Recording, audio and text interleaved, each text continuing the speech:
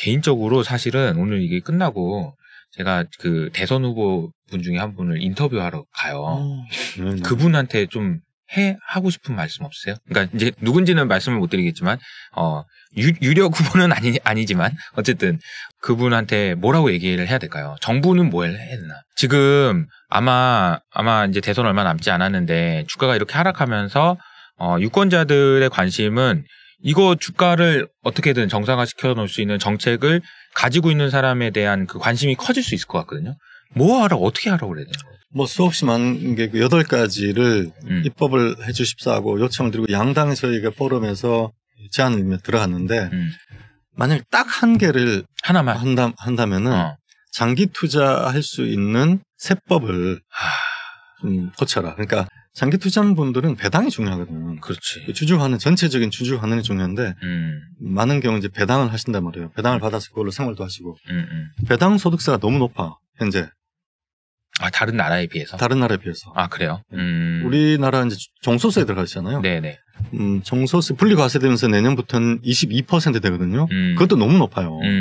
음, 10% 밑으로 떨어뜨려야 된다. 음. 배당 소득세. 배당 소득세. 배당 소득세를 음. 그 부분을 말씀을 드리고 싶고 그래야 장기 투자를 하고 그렇죠. 그러니까 기다려줄 수 있는 투자자들이 많아야 기업들도 그렇죠. 더 그 영업 활동이나 이런 걸 더 잘할 수 있는 그렇죠. 거고. 대주주의 경우 지금 22% 분리과세되면 좀 낮지만 음. 지금은 50%예요. 종소세를 부담을 하면은 배당세가 거의 50% 육- 육박해요. 아 50%요? 너무 큰데. 종소세니까. 아 종소세까지 가니까. 종소세가 어, 종소세 넘으면? 포함되니까. 음, 음, 음. 근로소득세와 투자소득세가 합산되니까. 네. 이건 너무 높아. 그럼 배당을 하기 싫, 싫어지니까. 대주주가 더 하기 싫어하겠네요. 그렇죠. 음. 그래서 장기 투자할 수 있는 그런 세법적 어, 이 시스템을 음. 정비를 해야 된다. 어. 네, 그 부분을 좀 말씀을 드리고 싶고 야, 근데 이게 뭐 물적 분할 이런 것보다 훨씬 더 중요한 거예요. 그게 제일 중요한 게 그거예요. 변호사님 보기에 주주 환원. 주주 완화. 저는 음. 음, 그 여덟 가지의 입법 미비 음. 때문에 주주 권리가 훼- 훼손되는 것의 음. 근본은 주주 환원이에요. 주주 환원. 그러니까 리스크 대비 보상을 해야 되잖아. 음, 음. 그게 공정한 그쵸. 거버넌스잖아요. 그렇죠, 그렇죠.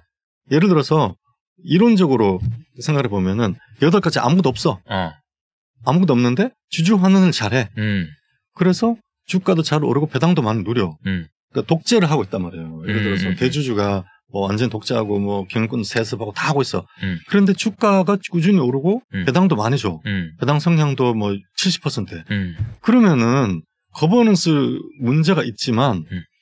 괜찮은 거예요. 그냥 받아들일 만한 거죠. 음. 그렇게 될 수도 있다는 거예요. 그래서 음, 일단 기본적으로 주주 환원부터 먼저 재고를 해야 된다. 음, 그런 말씀을 드리고 싶은 거죠. 주주 환원부터 제고를 해야 된다. 네. 어. 그 주주 환원을 할 수 있는 시스템을 만들어야 된다. 저는 그런 말씀 드리고 싶고 세법적으로 이제 네, 정비가 네. 좀 돼야 된다. 세법적으로 정비가 돼야 된다. 말씀을 나누고 있는 동안 주식시장이 더 빠지네요.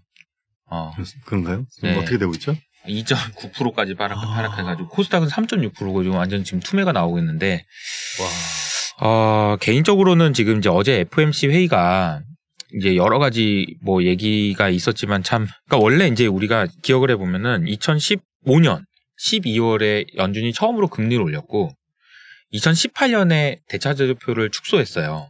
그러니까 이 긴축은 여러 가지가 있지만 금리를 올리는 것도 있지만 대차제도표 축소가 더큰 어, 긴축이라고 생각하는데 그 두 개를 사실상 동시에 하겠다는 거여가지고 그리고 이미 더 높은 데서 지금 내려오는 거라서 이게 어느 때보다 지금 어, 긴축으로 전환되는 과정에서 지금 진통이 큰 것 같다라는 생각이 듭니다. 원래는 이거 하나씩 천천히 이렇게 한다는데 어제 FMC 회의에서도 내용을 보면은 아 그냥 가긴 가야 돼라고 생각을 하고 있는 것 같아요. 어, 좀 시장은 좀 어떻게 보세요? 뭐 매크로는 우리 대표님께서 뭐 훨씬 저보다 어. 전문가시니까 가치 투자자는 가치 투자 입장에서. 가치 투자의 모델 내에 매크로 리스크를 헤지하는 전략이 내재되어 있다 이렇게 보고 있어요. 아, 그 말은 뭘까요? 그러니까 이제 음, 보통 가치 투자 하시는 분들은 매크로를 안 본다 어차피 못 맞추니까 이런 말씀을 많이 하시는데 그거랑은 좀 다른 얘기인가요? 다른 영역이죠. 어, 어.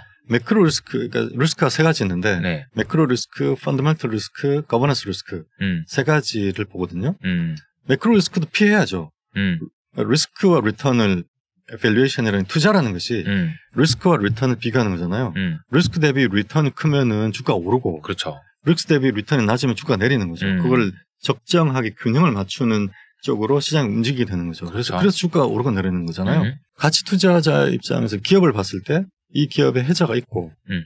그리고 어, 싸다. 어. 그러면은 그 이 기업은 매크로 리스크가 그 밸류에이션 상으로 이미 헤지가 되어 있다고 보는 거예요. 어, 그래서 그 기업이 주가가 내리면 더 사는 거고. 어, 그리고 리스크와 리턴을 비교해서 비싸다. 어. 예를 들어서 해자가 약해지고 있다거나 음, 또는 비싸다. 음, 그러면은 그걸로 매도를 하는 거죠. 음, 그럼 자동적으로 매크로 리스크가 헤지가 되는 거죠. 그래서 우리는 만약 시장을 본다면은 시장이 그러한 관점에서 밸류에이션 상으로 비싼가 싼가라는 음, 관점으로 매크로 리스크를 바라보게 되죠. 음, 음, 싸다.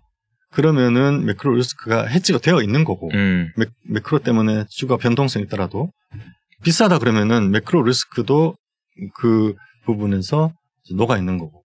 이렇게 되어 있는 거죠. 그러면 결국은 우리 주시장 2,600 정도 되어 있죠? 2630이네요, 지금. 2,630이면은 어, PBR 한 0.95 정도 음, 되거든요. 음, 음, 0.95면은 싸냐 비싸냐 음, 음. 이렇게 이제 묻게 되는 거고 시장을 볼 때 네. 개별 기업을 보면은 개별 기업이 PBR, PER, 뭐 영업 마진, 음, 또 성장률 이런 걸 봤을 때 싸냐 비싸냐 업황 음, 음, 업황도 보고 음, 싸냐 비싸냐 이런 식으로 보게 되죠. 음, 음. 보통 이제 주식 시장에 참여하는 사람들이 워낙 다양하고, 어, 투자를 하는 방식도 다양하고, 어, 돈을 버는 방식도 다양하고, 리스크를 해지하는 방식도 다양하고, 다 다양해가지고, 딱 어, 어떤 한 방식이 맞다라고 말하기는 상당히 좀 어려운 것 같아요. 근데 저 같은 경우에는 이제 매크로를 많이 보고, 모멘텀을 많이 보다 보니까, 그냥 쉴 때를 잘 구분하는 게 너무 중요한 것 같아서, 뭐 돈을 벌 때가 있고, 쉴 때가 있다. 근데 저는 좀 제 개인적인 생각은 제가 이제 채널에서도 계속 말씀드린 게,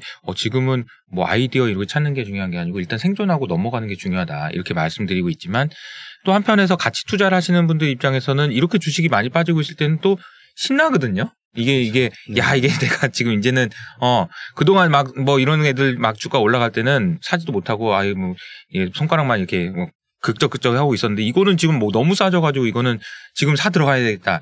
이런 생각을 하시는 분들도 있고, 대표님은 지금 좀 어떻게 보세요? 그러니까, 저는 음, 기본적으로 어, 어제 그저께 음, 그저께 폭락할 때 음, 음, 미국 주식의 경우 음, 그 한국 주도 마찬가지인데 다 채웠어요. 아, 다쳤어요? 원래 아, 현금 비중을 한 절반 정도 유지하고 있었어요. 어, 많이 가지고 계셨네. 그러다가 왜냐면은 이제 좀 리스크가 있다고 봤으니까. 어, 어, 그런데 그저께 주가 폭락할 때 어, 어. 코스 이제 코스피 그 기준으로 코스피 또. 기준으로 또 미국도 S&P 500이 폭락했잖아요. 나스닥도 어, 폭락. 나스닥 5% 빠지고 막 그럴 때 있었죠. 그렇죠. 그러니까 고점 대비 20% 정도 빠졌어. 나스닥 기준으로 음, 음, 다 채웠어 그냥. 음, 그냥 떨어질 때 제가 보기에 어, 싸고 음, 그러니까 해자가 있고 어, 해자가, 해자가 있고 그 강하고 음, 해자가 있는 정도가 아니라 해자가 압도적 강하고. 해자가 있고 그리고 싸다라고 음, 보이는 기업들은 그냥 그냥 다 아무 생각 없이 다 사서 음, 다 채우고 풀 베팅하고 이제 안 봐 저는 음, 지금부터는 안 봐. 음. 모니터 보면은 머리만 아프고 헷갈려. 아 죄송합니다. 여기 모니터 켜놔가지고. 그래서 어 가치 투자자 많은 분들이 그렇게 이제 생각하실 수 있는데 음 저는 현재 여기서는 어, 난 버틴다 어. 이렇게 생각하고 있고요. 그러니까 버틸 수 있는 영역으로 들어왔다. 어, 그러니까 이제 그렇죠. 뭐 그런 거죠. 네, 네, 그러니까 네. 저도 이제 최근에 이제 그 체크를 해보니까 미국 주식 시장이 장중에 4% 5%까지 빠졌다가 플러스로 끝나는 경우가 굉장히 드문가 보더라고요. 그러니까 생각해보면 아, 시- 지수가 4%가 빠지는 건 되게 드문 일이잖아요. 그럼에도 불구하고 이걸 또 들어 올렸어. 그럼 마치 이게 이제 주가가 오를 것 같지만 한, 한 달에서 세 달 사이에는 거의 예외 없이 주가가 더 빠졌더라고요. 그러니까 이제 저는 그걸 보면서 무슨 생각이 들었냐면 아, 이게 4%나 빠질 정도면은 웬만해서는 그렇게 안 빠지거든. 그러면은 뭔가 우리가 알지 못하는 어, 리스크가 어, 주식시장에 먼저 반영됐을 수 있겠다라는 생각을 해야 돼, 가정을 해야 되는 것 같고, 그게 해소되는 과정이 적어도 한, 한 달에서 세 달 정도는 걸린다. 어, 라고 생각해 보면 제가 말씀드리고 싶은 거는 두 가지예요. 첫 번째는 가격 조정이고, 두 번째는 기간 조정인데 이게 가격 조정을 받았으면은 대표님 같은 경우에는 아이 그러면 기간은 버티고 안 보면 되니까 그렇죠. 기간 어차피 올라갈 수 있으니까 그거고 음. 그러니까 저는 이제 그 시간도 좀좀 중요한 것 같은 거죠. 그 시간 그렇죠. 동안에 매크로 매크로 음. 트레이딩을 하는 분, 매크로 전략하는 분들은 그 시간이 음. 중요하시죠. 어, 시간 중요해요. 그래서 어, 한 달에서 3개월 언제 될지 모르겠는데 그리고 3월달 FMC까지 어떤 일들이 일어날 수 있을지 모르고 있으니까 일단은 좀 회피하고 있다가 근데 여기서 또 하나 중요한 포인트가 그거더라고요. 1년 있다가는 예외 없이 다 올랐더라고요. 그러니까 사실은 이 한 달에서 두 달 사이에 뭐 3월 달이 됐든 4월 달이 됐든 그 기간 내에 버틸 수 있는 기업을 골라놓고 그렇죠. 그안 보면 벌 수 있는 거예요. 그죠? 그렇죠. 어, 그게 벌수 있는 가치. 투자 전략이죠. 그러니까. 단순 무식한 전략. 아니 안 보면 안 보면 돼. 그러니까 내 안 보고 콩닥콩닥 안 해도 돼. 안 하고 그리고 그냥 해자를에 대한 철저한 분석이 있으면. 그렇죠. 그 해자에 대한 분석이 이제 그래서 가치 투자에서는 엄청나게 중요하고 음, 막판에 몰리잖아요. 음, 음. 그러면 해자밖에 남는 게 없어요. 해자밖에 남는 게 없어. 아무것도 없어. 어. 다 모르겠고 어, 어. 지금 사실 매크로적으로 봤을 때 온통 리스크 투성이고 모르겠고 어. 위험해 보이고 맞아. 물고 늘어질 게 밸류에이션도 몰라요. 어, 안 맞잖아 지금. 안 맞아. 밸, 어, 밸류에이션도 이게 내가 비싼 건지 싼 건지 밸류에이션도 자신이 없어져요. 그렇죠. 예를 들어서 지금 미국의 음, 아크 ETF, ETF가 많이 담았던 중소형 성장주들은 음. 고점 대비 90%씩 폭락했어요. 가슴이 아픕니다. 네. 그 기업들 밸류에이션 해보면은 좀 싸 보이거든요. 예를 들어 쿠팡 같은 경우가 PSR 두 개가 깨졌단 말이에요. 어. 1.6, 음, 음. 1.7 이렇게까지 내려왔어요. 아니 그러니까 냉정하게 얘기해서 누가 더 싸냐 이렇게 생각해 보면 아니 그런 기업이 오히려 더 싸 보이는 것 같아요. 워낙 고점 대비 하락폭도 컸고 그러면 얘네들이 그러면 해자가 없냐 그러면 또 해자가 있는 것 같거든요. 있죠. 어 그러니까 이게 좀 보면 어떻게 없어? 어, 그러니까 쿠팡이 가지고 있는 해자가 그럼 없어졌냐? 1년 동안. 그것도 아닌 것 같고, 뭐 펠로톤 얘기해도 얘네들은 계속 지속적으로 성장하고 있단 말이지. 지금도 여전히 뭐 30%, 40%씩 성장하고 있어. 그러면 이게 뭐, 뭐지? 이게 어떤 게 더 싼 거지? 막 이런 생각이 좀 헷갈리긴 하더라고요. 저는 바벨 전략을 구사를 하고 음, 이제 완전히 상반되는 음. 완전히 반대되는 자산 두 개를 갖고 리밸런싱을 하는 거잖아요. 그 성장주와 가치주, 음, 대형주와 중소형주, 음, 미국과 한국 음. 이렇게 세 가지 영역으로 반대되는 주식을 갖고 있거든요. 한국은 주로 이제 가치주, 음, 미국은 성장주 음. 이렇게 리밸런싱을 하고 음. 투자를 하고 있는데 미국의 중소형 성장주가 싸 보입니다. 이제는 아, 이제 정말요? 네, 싸 보인다. 어, 어, 물론 그, 그 정도 옥석을 가려야죠. 어, 강력한 해자가 있어야 되고 어. 그리고 또 밸류에이션 했을 때 약간 아직도 비싼 게 있을 수 있고 그렇죠, 그렇죠. 그러나 이제 싼 놈들이 보인다. 어. 그런 오늘 생각이 90% 좀- 빠졌으면 뭐 아무리 그렇죠. 아무리 이렇게 올라간 게 잘못됐다고 해도 이게 90% 굴굴이 빠지면 근데 그 과정에서 이 회사가 만약에 문제가 있어가지고 망할 것 같으면 그러면 이제 문제지만 문제죠. 근데 그게 아니면은 여기서 쇼 쳤던 사람도 쇼 커버를 해야 된단 말이에요. 숏 커버가 밑에서 나오고 있어요. 어 그러니까 예를 들어서 뭐 체그라든지 어. 진로라든지 어. 몇몇 종목들은 숏 커버가 나옵니다. 그러니까 아. 바닥에서 밀리면 튀고 밀리면 튀고 아 이렇게 되는 흐름들이 조금씩 나오고 있죠. 물론 그 중에는 계속 밀리고 있는 주식도 여전히 있지만 음, 서서히 이제는 좀 봐야 되는 때가 온 것 같다. 음, 오히려 음, 그런 생각이 들고요. 눈에 들어오는 게 있다. 있다. 예, 예. 네네. 그런 생각이 들고 바벨 전략상으로 어, 그래서 그러니까 가치 투자 전략은 그런 식으로 매크로를 보고 있는 거고 매크로 자체의 메커니즘 예를 음. 들어서 우리 이호석 대표님께서 늘 보죠. 네네. 이호석 대표님께서 보시는 매크로 매일매일 하시는 듣- 듣고 참고를 하지만 음, 저는 이제 그것이 매, 가치 밸류에이션 음. 밸- 우리 제가 하는 바벨 전략상의 배- 가치 투자 전략에 어떻게 녹아져 가는가 아, 이걸 봐- 보는 거예요. 어, 어, 보통 가치 투자자들이 오랜 투자를 해본 분들의 경험상으로 음, 이런 이런 경험들이 다 있습니다. 뭐냐면 싸다, 어, 어. 싸다 하고 사, 사요. 어. 그러면 매크로상으로 도저히 여기가 리스크가 끝이 아닌 것 같은 어, 지금 같은 상황. 예, 예, 막 폭락할 것 같고 예, 더 빠질 것 같고. 더 빠질 것 같고 호키시하니까 이제 음, QT를 빨리 하게 되면서 자산 가격이 더 붕괴할 것 같고 음, 이런 때가 오잖아요. 근데 매크로상으로는 이제 붕괴할 수 있죠. 음, 근데 그 중에서 또 이 비싼 주식이 있고 싼 주식이 있을 거 아니에요. 음, 만약에 그 기업이 어, 강한 해자를 갖고 있고 음. 싼게 맞으면 음, 그 기업에는 그 매크로 매크로 리스크가 정점을 때릴 때그 음. 기업 그 산업이나 음. 기업에 극적인 전환 이벤트가 발생해요. 음. 그게 뭔지는 아무도 몰라요. 음. 우리는. 왜냐하면 기업의 경영진도 매크로를 봅니다. 아. 그 자기 기업의 주가를 봐요.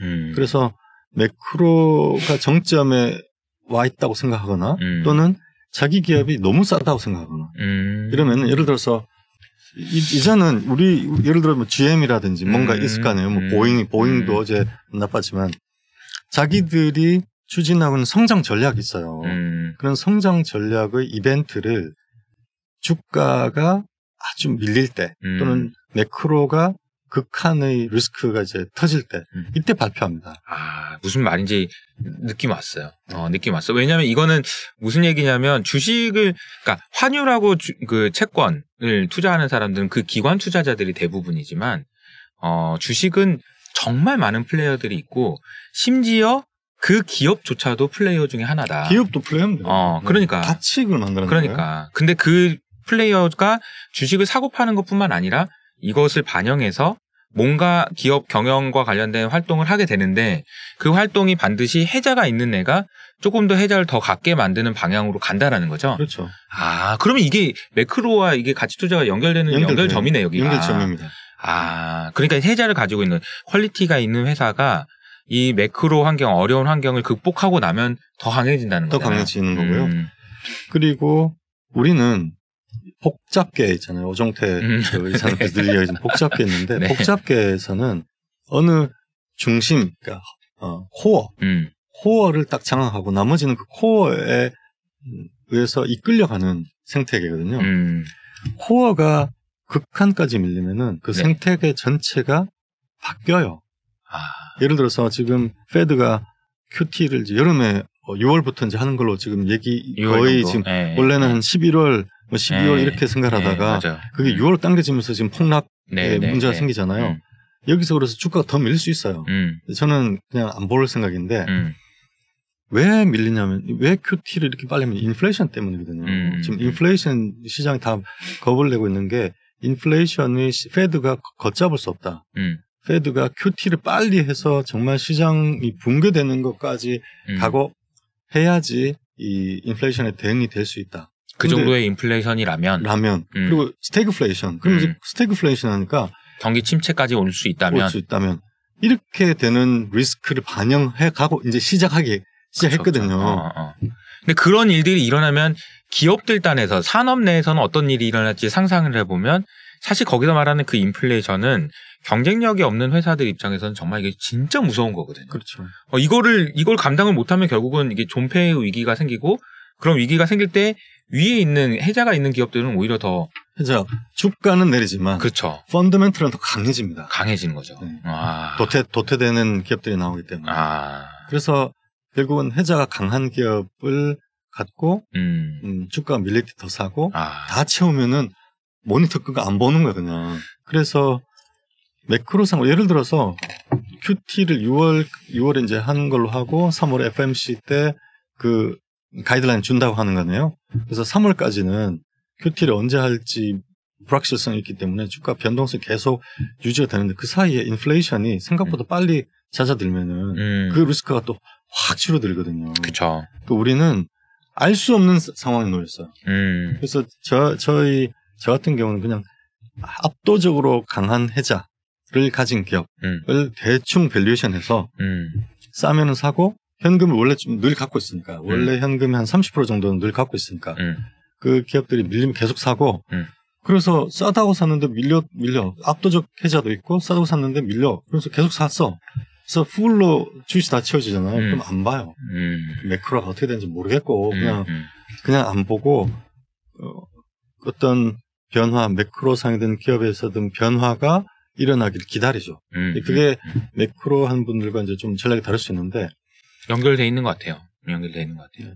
대개는 그런 정도의 상황이 이르면은 매크로 상이든 그 기업 단위든 산업 단위든 변화가 생깁니다. 음, 그게 복잡해라는 거고 음. 지금 우리가 생각하듯이 어, QT 인플레이션이 튀어서 QT도 막 급격하게 되고 그래서 스태그플레이션도 오고 이렇게 되도록 경제 주체들이 가만히 있지 않아요. 음. 그걸 바꿔요. 음, 누가 바꾸든 바뀐다는 거죠. 바- 각자 각자 영역에서 다 똑같이 와요. 노동자가 있고 기업도 있고 페드도 있고 음, 다 음, 있잖아요. 음, 음. 뭐 환율하는 플레이어들도 자본시장도 음. 있고.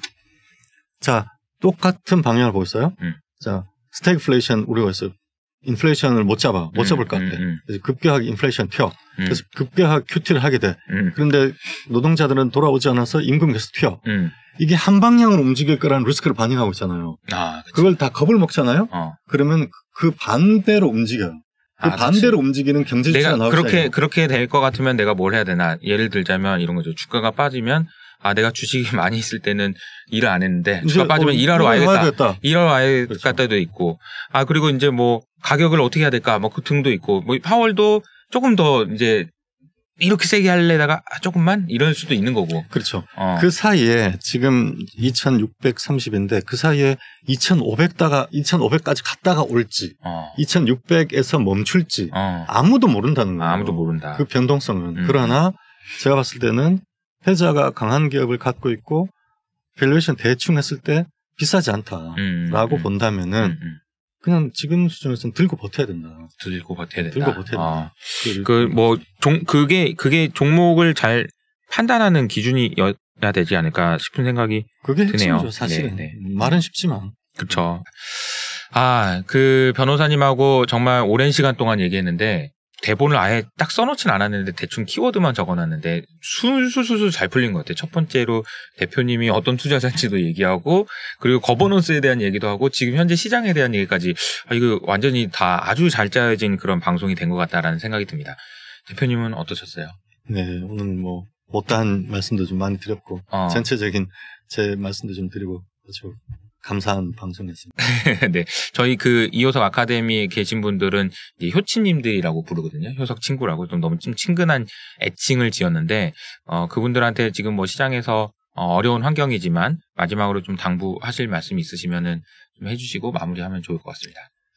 투자라는 것이 리스크 테이킹을 하고 그에 대한 보상으로 수익을 얻는 그런 활동이잖아요. 네. 리스크라는 게 뭔지를 아. 생각을 좀 해봐야 돼요. 리스크라는 것이 도대체 뭐냐? 그렇죠. 네. 리스크라는 것이 때로는 앞이 안 보일 때 음. 그걸 내가 각오하겠다. 음. 내가 믿는 것과 각오하는 것이두 가지를 음. 분류해야 되는 거거든요. 음. 그러니까 나는 뭘 믿는가? 음. 나는 투자에 있어서 나의 trading 실력을 믿는가? 변동성 잘 보고 음. trading 음. 실력을 믿는가? 음. 아니면 저처럼 그 기업이 갖고 있는 압도적인 경쟁 우위를 믿는가?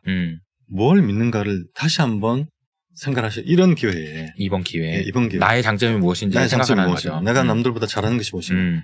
그 믿는 거를 확실히 잘 분별하셔야 되고 음. 두 번째로는 그럼 내가 피해야 될 게 뭔가? 아. 그리고 각오해야 될 게 뭔가? 아. 이거를 잘 이번에 분류를 하시는 기회로 삼으셔야 될 것 같고요. 같이 투자하는 분들이라면은 어, 뛰어난 경쟁 우위를 갖고 있고 싸다면은 음. 그 다음엔 변동성은 각오하는 거거든요. 각오하는 거다. 그렇죠. 음. 그 싸다는 것에서 매크로 리스크라든지 리스크는 일단 해지가 되어 있기 때문에 음, 음, 그러니까 해지는 피하는 거니까 음, 음, 내가 뭘 믿는다. 음, 그 다음에는 어, 리스크를 해지했다. 음, 그 다음에는 각오해야 되는 거. 음, 음. 근데 각오를 하지 않으면은 네. 수익이 안 나요. 아, 그치. 네, 각오를 해야지 수익이 난다. 그리고 음. 그 각오를 해서 실제로 고통스러운 기간이 생기는 때가 많아요. 대부분 거의 항상. 항상 고통의 그쵸. 수반이 된다. 아, 아. 그것은 각오를 한 어, 당연히 필연적인 과정이고, 음. 뭐 피터 린치가 그런 얘기했지 않습니까? 쉽게 수익이 난다고 생각하는 사람은 주가가 하락하면 다 치유된다고. 음, 투자 제가 저는 98년부터 주식 투자를 했고 뭐 상패도 한번 당해봤고 투자하는 음, 종목이 음, 음. 투자는 결국은 자신의 고통의 또는 그 인내의 음. 보상이다라는 음, 것을 이번에 좀 정리를 좀 하시고 음. 그렇게 임하셨으면 좋겠습니다. 알겠습니다. 어, 고통에 대한 보상이 어, 반드시 있을 거라고 믿고 또 희망하면서 오늘 방송은 여기서 마무리하도록 하겠습니다. 긴 시간 동안 감사합니다. 다음에 저희 주주 운동 하- 한번 또 식사하면서 좀 얘기 좀 네. 나눠봐야 되겠습니다. 아유 감사드립니다. 네, 알겠습니다. 감사합니다. 감사합니다.